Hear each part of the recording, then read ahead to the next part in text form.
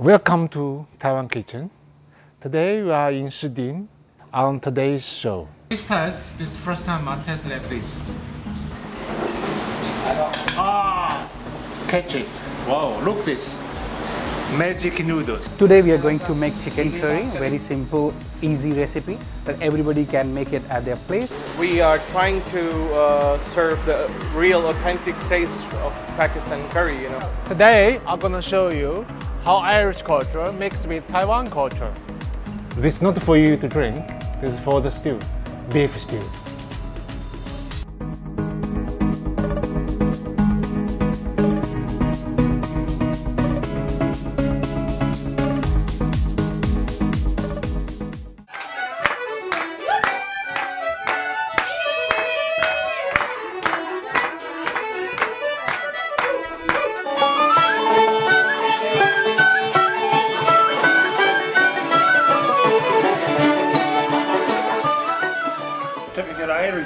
Is a meeting place for people, young and old. Uh, all go into Irish bars to communicate. Particular in the west of Ireland, uh, it comes from the olden times when there was no electricity in the houses. People went usually to meet in the local pub. I see. and they talked and they played music and uh, it was a meeting point and a communication and that uh, uh, to this day uh, is the Irish bar. In Ireland uh, you have a couple uh, classical drinks. The most important drink is the Guinness. Guinness was born in Ireland in Dublin Yes. uh, and since uh, 1600 and something. Okay. So uh, Guinness is really the centerpiece of Irish drink. We have in our bar the biggest selection of Irish whiskies. Uh, Taiwan, up to lately, only imported whiskies from Scotland Yes. and some uh, bigger brands from America, the Mhm. bourbons. Yes. But there was no Irish whiskies found. Okay. What's the difference? Ireland's Irish whiskey and Scotch whiskey. Uh, Ireland uh, were the first, the monks of Ireland were the first people who uh, distilled whiskey in the world. So the whiskey distillery uh, started in, uh, uh, in, in Ireland. From Ireland, uh, the system of distilling uh, whiskies went to Scotland. From Scotland, it went to America, and bourbon was born. Uh, the Irish whiskey is uh, uh, whiskey is very dependent on water, Mm-hmm. and uh, Ireland uh, has the Atlantic, and on the other side of the Atlantic, uh, thousands and thousands of kilometers away, is America. So you have a fairly clean environment. The weather coming fr- from the Atlantic into Ireland as rain gives you a very good water and uh, this water is being used for uh, uh, for the whiskies. So the whiskies in Ireland have a very smooth character. I see. The Scottish whiskey is inclined to be more alcohol uh, uh, dependent. Uh, so the smoothness of Irish whiskey uh, is, is very famous. so what's the typical Irish dish? The most famous dish I would say is probably Irish stew. So now I'm gonna cook Irish typical classic beef stew. We have some ingredient. The beef is from Taiwan. So this spring onion we call 猪葱. This carrots, potato, onion, garlic. Now I'm going to cut the vegetable into the cube size. We're gonna cook add the oil first. Get the oil a bit hot. Put the beef. You always marinate the beef before you put in the pot. Let cook like one minute each side. You pan fry the beef for a couple minutes. And then you put onion first, some garlic. Let's wait next three to five minutes. Onion caramelize. Now next we put carrots and potato in, yes? Also we're going to put some tomato paste. So now put some leeks in. Now the interesting part is come up.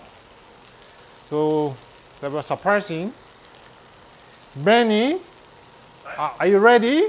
I'm going to put my first draft Guinness beer in my life. Let's go. Right now Brilliant. we put here You're getting employment. For the rest. right now I'll finish off the beers. I mean Guinness. Right, straight up. Wow.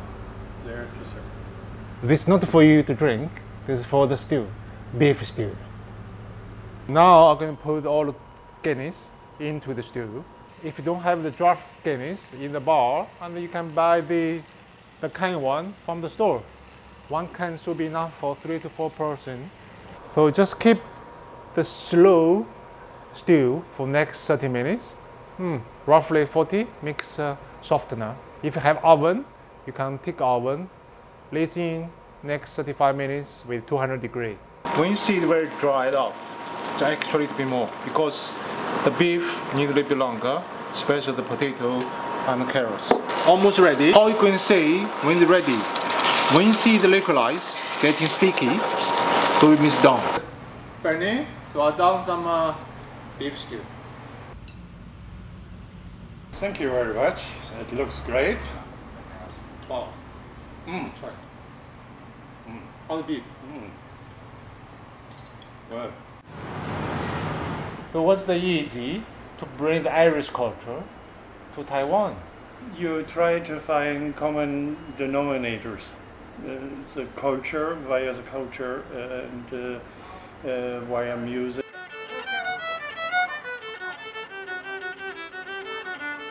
When you feel sad, uh, feel down, when you listen Irish music, you will get better. So always uh, this music make you active. The James Joyce is very kind for, for us to play the music here. Chinese music instruments have some similar like uh, Irish music instrument. For example, uh, Chinese bumbo is similar with tin whistle play. So this time I try to ask the Chinese Chinese music player to play the Irish music and use Irish style to play the in their instrument and uh, try, maybe have a different sound, but I think they can match each other. Coming into our Irish bar, you don't need to travel to Ireland. You have a little bit of Ireland in our Irish bar.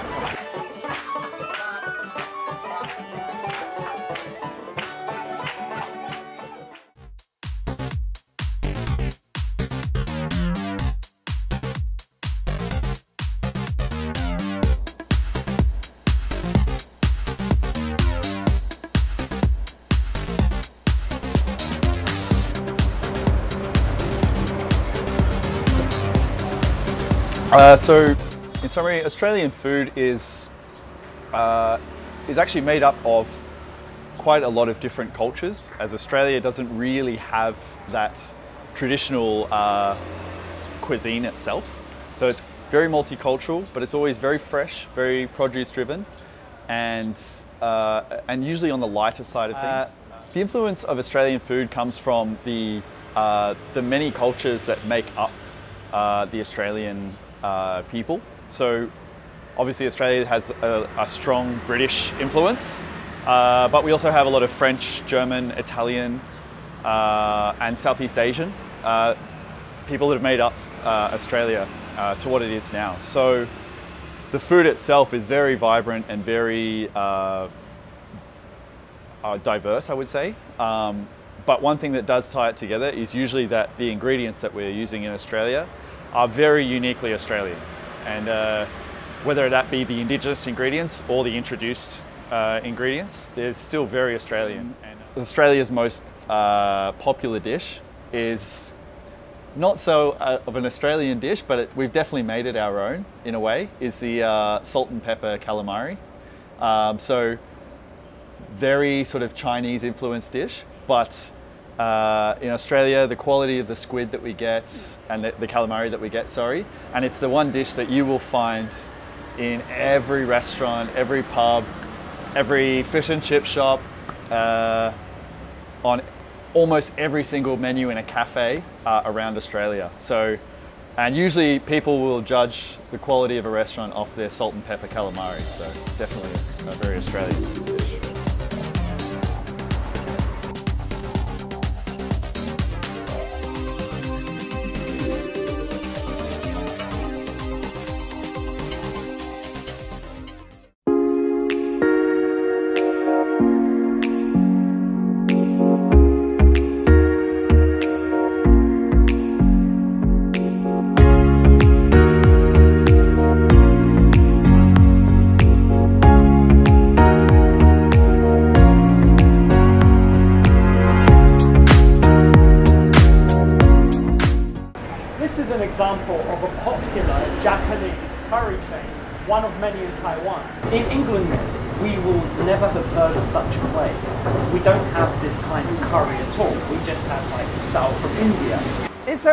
difference in taste? Is there a difference in taste between Japanese curry and Indian curry?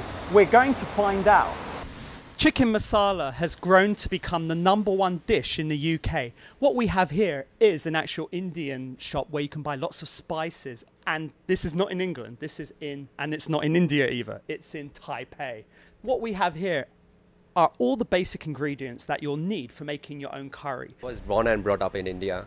Taiwanese have started to like more Indian curries. Before, in the starting, they used to like uh, Taiwanese curry. Uh, I mean to say Taiwanese or Japanese curry. So when they started uh, eating uh, Indian curry, they started to like Indian curry more because of the flavor.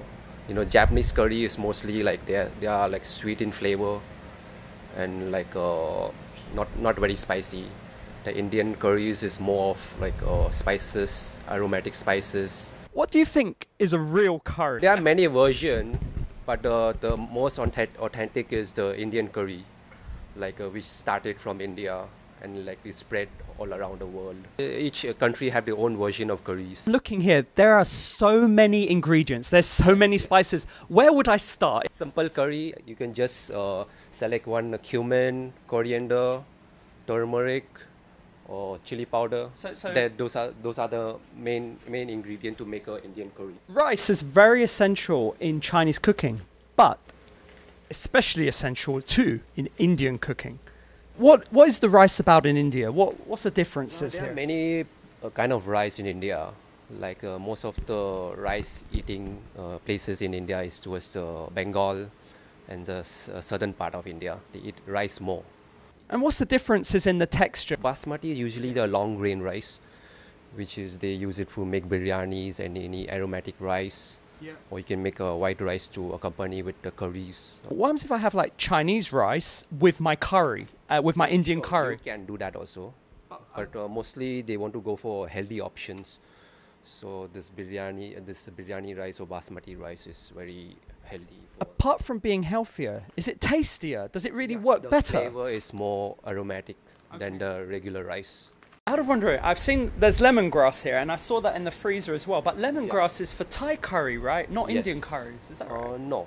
No? Mostly is used for Thai curries. Yeah, yeah. Indian curries, maybe some some people want to use most want to do some fusions. In India, like they have many kind of fusion uh, dishes. Like they they can have like uh, something like uh, curry pasta. they have uh, something like a pizza with curry flavor. Those things or something like uh, uh, Thai Thai and Indian curries, like uh, fusions kind of things.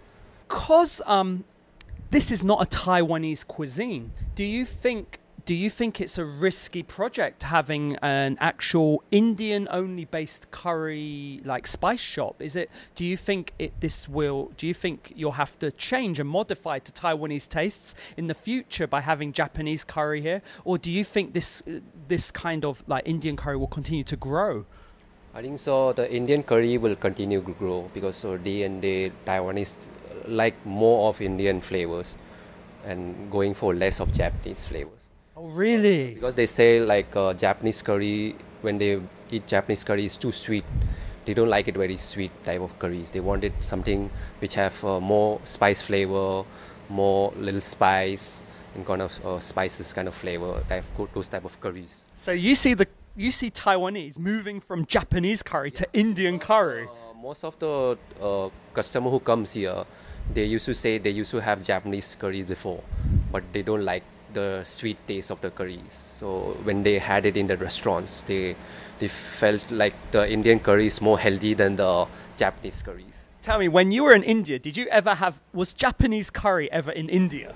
No, I never seen any Japanese curries in India. How did you feel when you tasted your first Japanese curry in Taiwan? Like uh, it was kind of, oh, my mood went off. Okay, so so if you were going to give any advice to Taiwanese who have never tried an Indian curry, what would you say to them? I'll say try Indian uh, Indian spices, Indian curries. They are more healthy than the, the Japanese curries. This is an Indian snack that I'm going to introduce to you. This is actually an Indian naan type of kebab.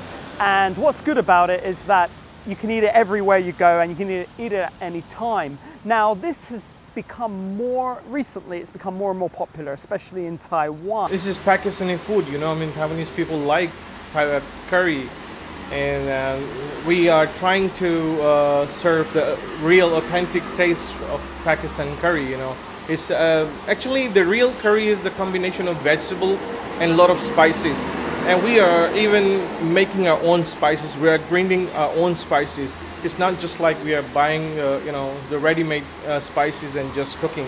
Kebabs are many kinds of kebabs, like uh, from Turkish kebabs or uh, from Middle East or from Pakistan or even in India's, you know. So I think it's, it depends on how you cook. Cooking is an art. It's just like it's my passion. I like cooking. The dough of roti and chapati is very very simple. It's just uh, three ingredients: flour, water, and a little bit salt and a little bit oil. Everything is handmade. And how do you heat it up? I mean, is that, what is that, an upside down frying pan? Yeah, it's a wok. Well, we are cooking on, on the back side of the wok. This is the process of making the naan kebab. So you're, so you're popping it in flour, stretching it out here. It's like making a pizza, isn't it?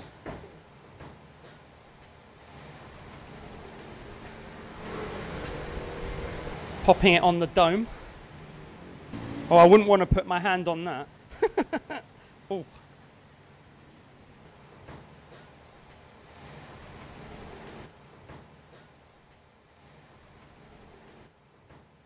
This is the heaviest strap I've ever seen. Whoa! I can taste the spices. That's the first. This is this is actually a chicken wrap, and um, I can really taste a lot of chicken. I can taste everything in it. It's like, and wow, this is not what I expected. This is actually much better than a normal wrap that I'd have.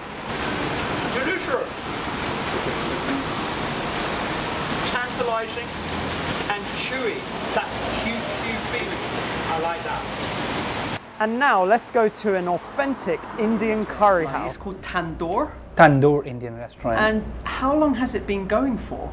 it's like uh, more than 31 years now ago. Oh, really? Yeah. Compared to Japanese curry, this looks nothing like it. This is absolutely, this is completely different. It's Indian, that's why. What is the difference then between a Japanese curry, like from your view? I don't find like authenticity. Yeah, like you know, Indian has like different spices. They use like all sort of Uh, spices. If you eat their food, you can feel like the same taste in the other one. If I make the dal, if I make the aloo gobi, so you will find the different taste in it. Today we are going to make chicken curry, very simple, easy recipe that everybody can make it at their place. We need chicken, cumin seeds, coriander powder, garam masala, turmeric powder, red chili, bay leaf cinnamon stick, salt, red chili powder, green chili, fresh coriander, chopped uh, uh, ginger, chopped garlic, and butter. You're using a lot of fresh spices here. Why, why is that important? Because if we use fresh spices, it gives you fresh aroma. Fresh, you know, if you put a fresh uh, spice, it give, give you fresh aroma. If you use the old one, they don't have aroma, no taste. This is the very easiest way. You can make it chicken in like 20, 30 minutes, easy. And prep time probably 10 minutes. So you have to buy a chicken. Then you need to chop your onion and your tomato, ginger and garlic and other spices. That's it. What else you need? First we're going to add some oil while it's heating up. What you can do, you can put some bay leaves, then your cardamom, your cinnamon stick and peppercorn with it. Then after you can add some cumin seed. Okay, so you can see your oil is already heat up now. So it's a time, yeah, so it's time to add some onion in it.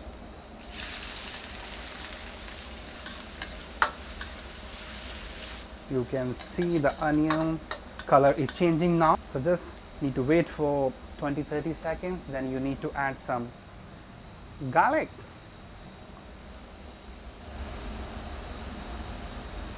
Yeah, and you can add some chopped ginger and you can see turning golden brown now. So we need to put turmeric powder. Uh, turmeric has lots of you know benefits. You know it's quite healthy in India. Every person use the turmeric in their food. It gives you flavor. It gives you healthy benefits and gives you color also. You can see the oil color now is changing. What? Yeah. Fresh turmeric you can't use it because uh, fresh turmeric you have to dry them and then you need to make a powder. In, in India some places they use like fresh uh, turmeric but I'm from northern part so we don't use uh, like fresh turmeric. We use it like this way. Now it's time to add some tomato, chopped tomato. We need to put salt to taste. So now you can add some garam masala over here. So one teaspoon or like one and a half teaspoon of garam masala. So now we need to add some coriander powder over here. Almost two teaspoon of coriander powder. At this stage what you can do if you want to put some water you can put some water. Now we are putting some red chili powder to give nice color. So we need to mix them well. You can see it's turning to red now. You can put some more water here. At this stage you can put some green chili. You know if you want spicy you can put more chili. If you want less spicy then put less chili. And what's the difference between using a green chili and a red chili? Yeah, good question. When you put fresh green chili, it gives you fresh taste. It's like, you know, very strong, strong taste. And it doesn't give you color. That's why we use powder. So green chili for the little spicy and freshness. So you can see there's no tomato, no onion. You can't see it's like a becoming paste now. It's, it's, time to add chicken. So we can put some chicken here. You can use all type of chicken, but we use uh, chicken legs over here. Yeah, you can use uh, boneless. You can use with the bone. What I use with the bones. Bones give you more flavor. So now we need to see. Oh wow! Yeah, it's becoming thicker now. At this stage, we need to add some butter. Chicken. So yes, yeah. So this is the curry you cook. Yes. Is that basmati rice? Yes, these are the basmati rice. You That- can even see. the rice has a smell that you can't. I don't smell in with normal like Taiwanese rice. I don't get that. Yeah, yeah, because these are the special rice from India, not from here. Why don't you just use Chinese rice? Because basmati rice, if you go to India, so this is the basmati rice. You can see it has a different taste and aroma. The difference? Completely different. The texture is. It's more chewy, but it's quite. I feel it's quite um, quite hard. A bit harder as well. Yeah. And I, I don't know why, but I like it a lot more than the rice I normally have. If I go to a Japanese curry store, it doesn't taste anything like that. No, because they don't use basmati rice. They do the jasmine, uh, the different rices. Tell me about your naan bread. How did you make it? We make it in a tandoor. It, it has a, like a fine flour. So you know we, we we make a dough, then we put it, and then we make it, and we put some little bit butter to give it like more richness. Crunchy, quite hard, but buttery, smooth. It's got everything I like about it. And try with the chicken now. With the, oh wow, this is what you cooked. Like a tiny bit of rice. Yeah. Okay.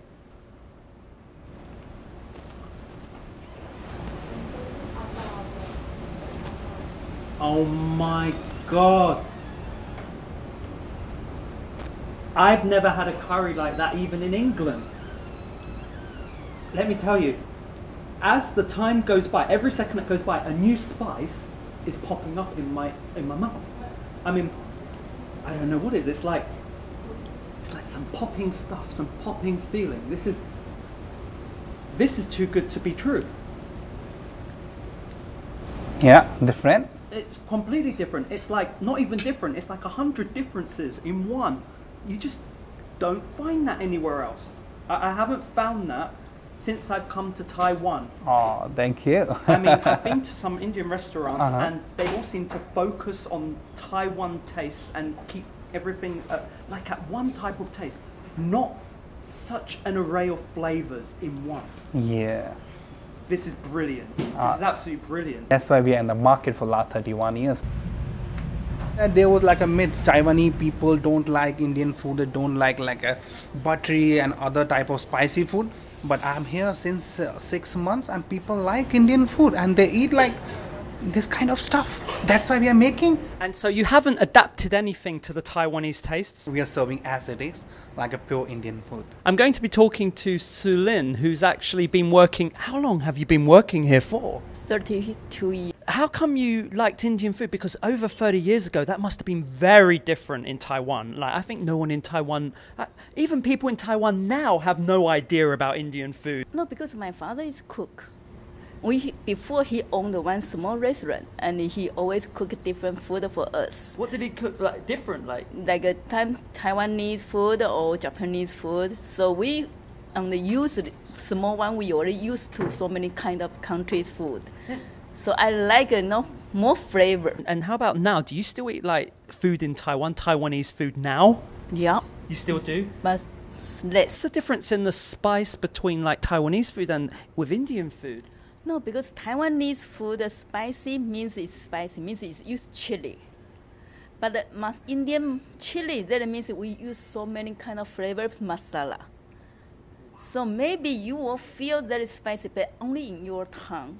Actually, it's not go to your through your and your stomach, but you still feel its flavor. But Taiwanese, they don't understand because the chili because in the Taiwanese, if we, if we say this food is chili, that means chili. Because use they are make cooking by the chili. Maybe it's red chili, maybe it's chili, green chili, but it's chili. If your best Taiwanese friends are going for a Japanese curry and they've never tried this, what would you tell them? I say you must know challenge your tongue because we have so many flavor. Then you will open your tongue and suck those spice in your mouth. What do you think of Japanese curry? Because in Taiwanese, we used to the Japanese curry because there are uh, so many histories problem. But Japanese curry for me is only the sweet, not so many masala. And his tikka is used the potato and the so many like fruit, like a like apple, everything. Not so many masala. So for me, the not not so like because the no flavor. I need to say, if you haven't tasted this curry or have haven't had any authentic Indian curry, then you've really missed out. I mean, you really. I would even like to go far to as far as to say that you will have no idea what real curry is. You really got to get down and go to one of these places and try it out, or get the ingredients and try it yourself at home. Voila! Today, I'm at Shiding Noodle Factory in middle of uh, the mountain in Shiding area. The noodles, they need water and flour. And most important is salt. So if have salt enough the figure, you can make the stretch with noodles. And all plus the old traditional way, handmade. So take 12 hours to make one patch of noodles. It's the, doing the pull and relax noodles, make stretching, resting, and even less make the noodles longer.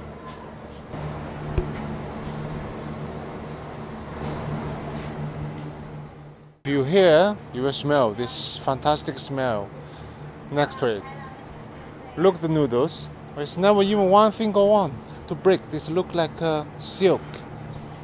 Wow, wonderful. This place is be open for 25 years. Only do one particular thing. This handmade noodles. This is green tea noodles. Green tea flavor noodles. This is very interesting. So someone, if you never had green tea before, you can try the noodles with the green tea flavor. That's uh, wow. That's very interesting.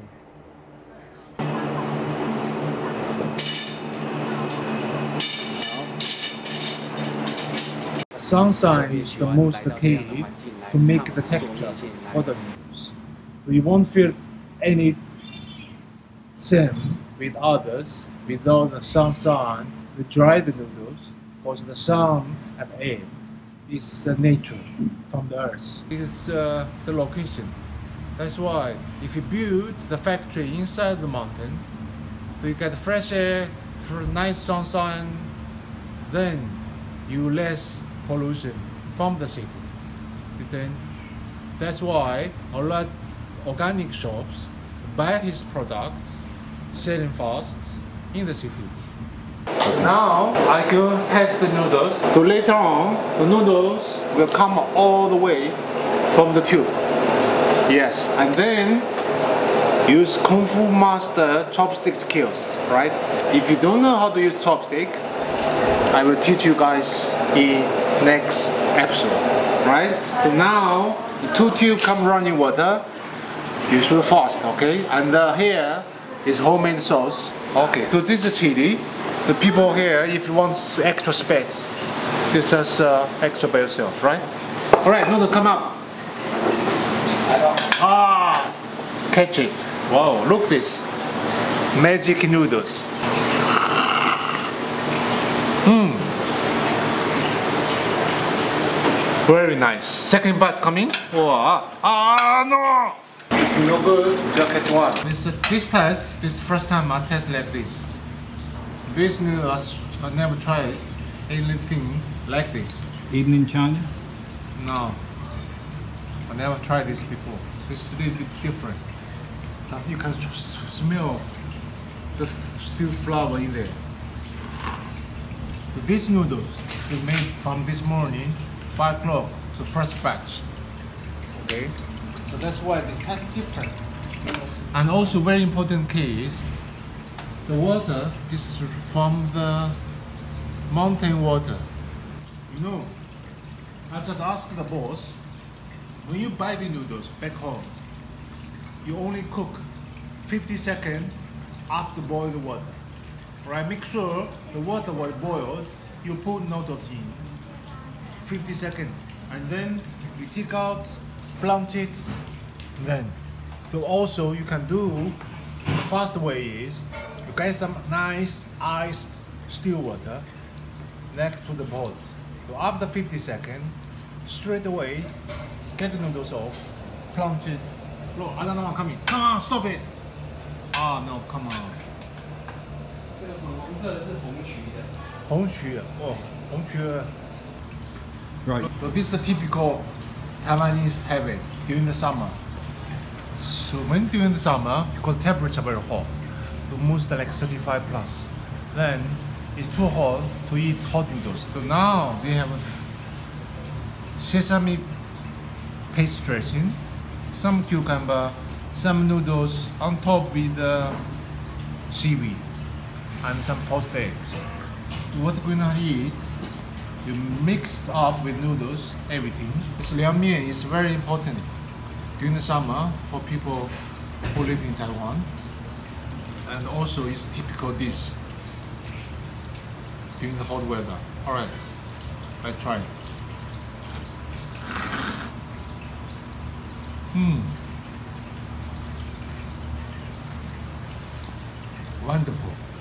The sauce was uh, excellent cucumber, refreshness, and seaweed extra some crunches. Mm, This chili paste is hot and uh, also homemade. The whole cooked noodles actually in the kitchen. 所以你们是谁煮的面？你家人还做？啊，亲戚也有。Okay, most like a family member who cook the noodles in back the kitchen, and uh, you know this is like uh, old grandma style. 外国观光客可能就是对这个有兴趣就跑来看，我不知道是不是。会有。哦，现在没有。现在也是有，像你们你们 Thanks for watching. See you next time.